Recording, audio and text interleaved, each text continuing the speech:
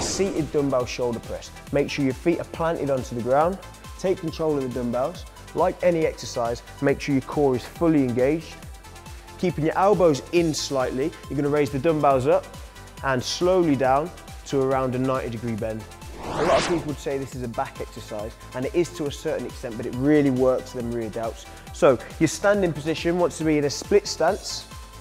Take control of the rope, palms facing in, keep your chest nice and high, and you're gonna row in to your eyes and slowly release. So the dumbbell lateral raise, you can either do this exercise standing or seated. All you're gonna do is stay soft on your knees, chest out, and you're gonna raise the dumbbells up, palms facing down, and slowly release.